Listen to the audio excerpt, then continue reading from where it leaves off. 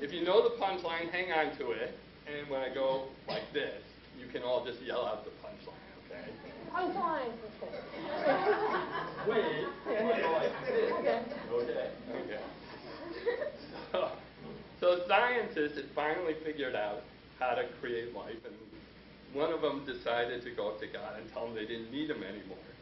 So he went to God, says, goes up to God's face, we don't need you anymore. And God says, well, we should have a contest, a life-making contest, just like when I, what I did with Adam.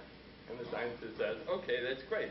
And he reaches down and he grabs a handful of dirt and he says, okay, let's go. And God says, what are you doing? Get your own dirt. Oh, get your own dirt. Sorry.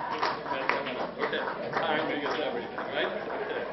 So, get your own. Wasn't supposed to get that big a laugh. okay, so some would say we're here to celebrate your becoming an adult, but I don't know what that means. What?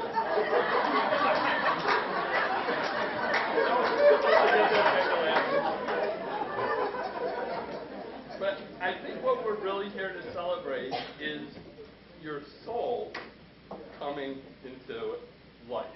Because when you start out as a child, your soul has the potential of a bag of dirt. But now, your soul, your soul has come to life, and we can see your soul in so many ways.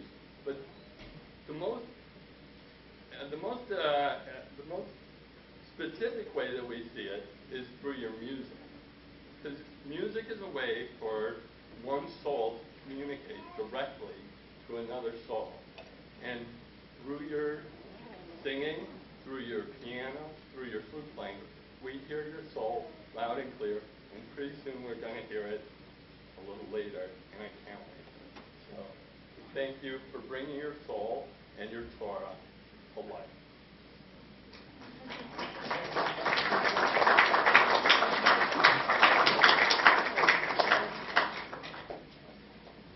So now, now the actual moment of her becoming a bat mitzvah is celebrated uh, when we call her up by her Hebrew.